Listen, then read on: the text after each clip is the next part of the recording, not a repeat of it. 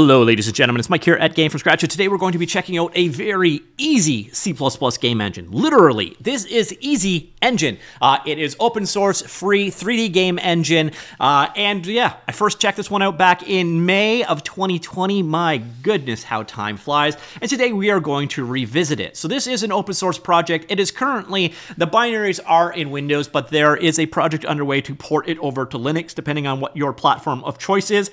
Let's go ahead and take a look at it. So you can see this is a simple scene loaded up in ezEngine. And I'm just gonna, here, we'll go ahead and run this game right now. Uh, and we can go ahead, just bang, go ahead, and you'll see I can shoot things in the world.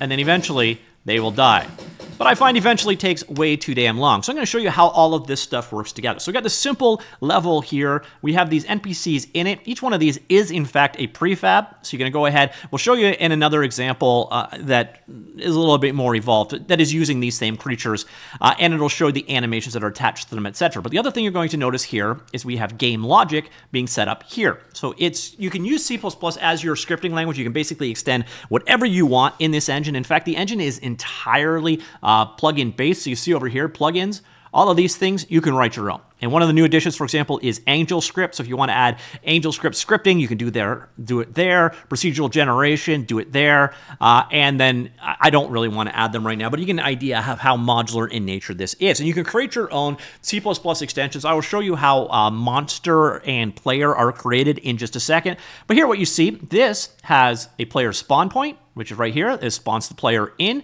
And you'll see here, the player is pretty straightforward. It's a prefabbed asset uh, it's got a default player controller attached to it. It's got a camera attached to it. And then it's got that bullet we were looking at attached to. I'm going to go ahead and open up that bullet prefab as an example. So we go into it like so. And what I'm going to do is let's make that bullet much more damaging. So now it does a thousand damage instead of 10 damage. So you can see how things all relate together. So this is created as a projectile class, which has properties attached to it. What we can do is go ahead and add in a variety of other effects in here or input handling and so on. So there are all the various different pieces that go together to create your world. So typical component-based approach. So our magic bullet is now attached to our player character and it is much more potent in its capability. So that is uh, how you set up properties within the world. The other thing you're going to notice here is we have this level level logic.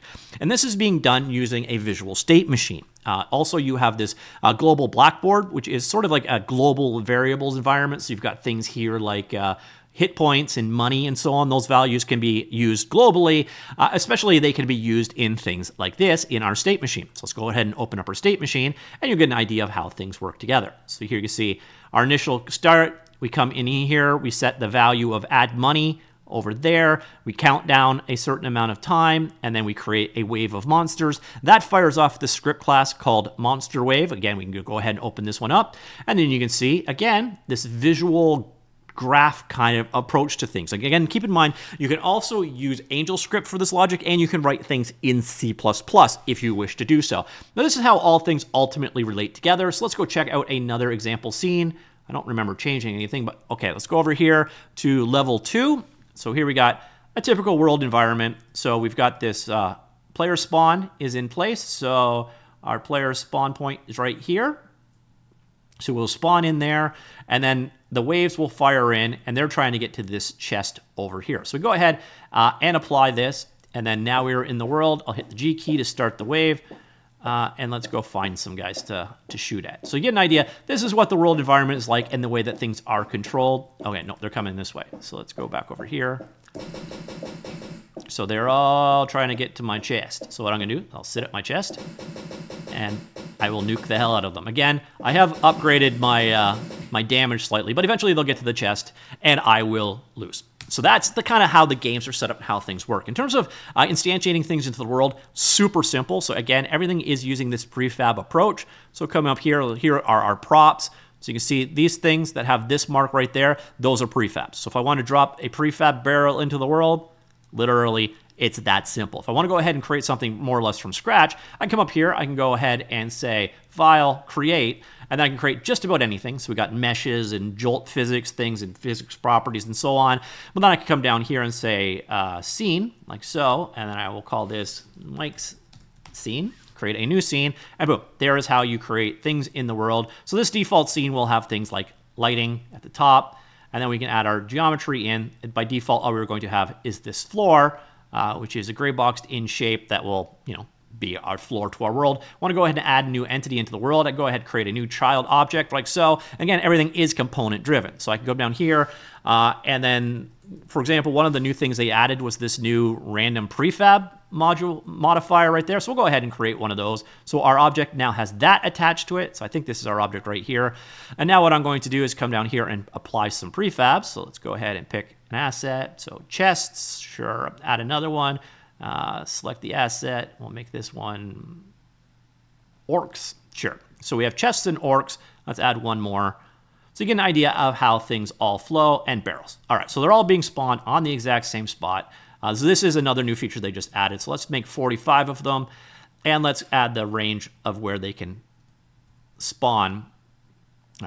All right, 450 was a little much. Let's go back here, 45, 45. So there you see, all around the world our random objects are being set up. And again, we can give them a random rotation value and so on. So this is how you create entities in the world. Again, all of these things are ultimately prefab, so we could go ahead and select that individual prefab. So our orc, for example, open that up, open that asset up, you can see how the uh, a character prefab is being assigned. And you see this guy is made out of quite a few different components. Again, that uh, blackboard, which can be used for your scripting logic. So here you can see we open that one up and you've got various different variables available. So react, hit, attack, melee, and so on. You're also going to notice this is an animated character, so it has an animation controller of type monster attached to it. Let's go ahead and open that asset up, and there you're going to see, once again, the animation controller. And this can use those Blackboard variables for controlling other assets. Now, I did mention earlier on that you can actually script in a couple different languages. So here you can see C++ project. I could go ahead and set one up. We can open it in the IDE. We can also open up directly into Visual Studio Code,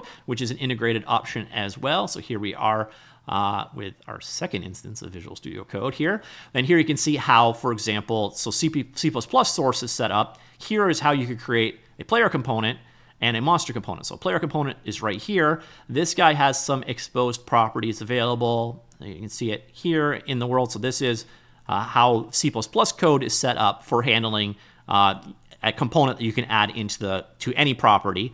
So this is, again, called player. Here is one for a monster. And again, monster has properties of health and money reward. So you can see right there. So this is C++ code uh, that if you want to script your game logic this way, again, you can create components that way. And then we head on back over here uh, to say here, pick an entity in the world, or here, let's go ahead and create, create an empty. I can go ahead and add in, and you're gonna notice we have player, so monster attack player, and then we also have monster. So there you can see monster attack monster. So these are the two, uh, two uh, values again.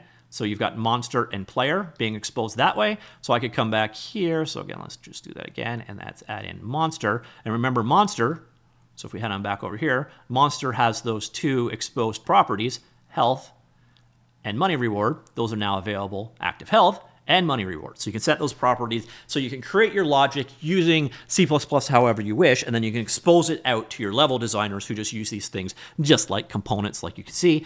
Or of course, you can have it do it almost all using this visual scripting system or a lot of things that are built in out of the box. So again, you've got things here like navigation built in for controls, um, you've got uh, hitboxes and so on, and then again, you have these this visual flow graph style of approach, which can be used, once again, if we come back here to our creatures demo scene right here, you can do entire level logic this way. So once again, we saw here, this is being done via state machine. Let's go ahead and open that up, and then boom, you can control it this way as well.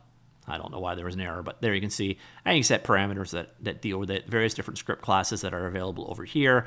And again, any one of these can open up, and it's this very straightforward visual programming language option as well. So there's a lot of different options here with ezEngine. It does pretty much live up to its name. Uh, the other nice thing about it is it's, it's pretty well documented. So you got documentation, walks you through all the various different components and assets of it. As I mentioned, I first covered this like four years ago. So there's been some pretty continuous development going on with ezEngine. Again, this is an open source project. It is under the MIT license. If you do like what you see here, come on in, give them a star. As I mentioned, newest release, uh, March 2025, was just a couple weeks ago. They are working on a Vulkan backend renderer and Linux, but right now this is primarily for the Windows folk. Uh, you see here again a number of different releases available. The big thing about this newest releases, they did add AngelScript as a scripting language. It's weird because there used to be TypeScript as well, and I don't know what ended up happening to that. You also got some uh, basic templates to get you up and going. Uh, C++ project generation can build standalone EXEs uh, and other options available here. So there's a number of different improvements in this update. Uh, again, another sample in there. Uh, we saw the random prefabs. I saw this in action earlier on. Shows you how you can go ahead and create those things. So there is a lot of features in here. Uh, they're, they're kind of a lot to love with this engine, to be honest. So that is the newest release of it. Again, First check this one out back in May of 2020. Obviously, we've had a number of improvements since then. Uh, if you're interested in learning more about it, it is available at ezengine.net. Uh, this is their homepage. It's a little underwhelming at times. The other nice thing here is there are a decent number of samples to get you up and going, uh, some custom code and screenshots of what it is capable of as well. Uh, again, this is the testing chamber kind of gives you a, a just a, an entry point to get figuring out how things work. But for the most part, it's actually a really simple engine to get up and going with. And again, a number of samples to get you up and going, which I always appreciate. So ladies and gentlemen, that is ezEngine. Uh, again, right now, uh, this is a Windows only project uh, for the editor, but there is a port to Linux going on. Uh, again, I don't know the status of that. I do believe you will have to build from code yourself. But I think this is actually a pretty impressive project, and it uh, it's quite again simple to work with. So again, if you want to uh, pull something from props, prefabs, literally, boom, instantiated in your world. And then you saw how these prefabs actually work, nest into them. Really easy to work with in that regard. And then everything is component driven, and you can easily create those components using uh, C++ if that is your weapon of choice. So ladies and gentlemen, ezEngine, uh, an easy C++ game engine. Let me know what you think of this one. Comments down below. I will talk to you all later. Goodbye.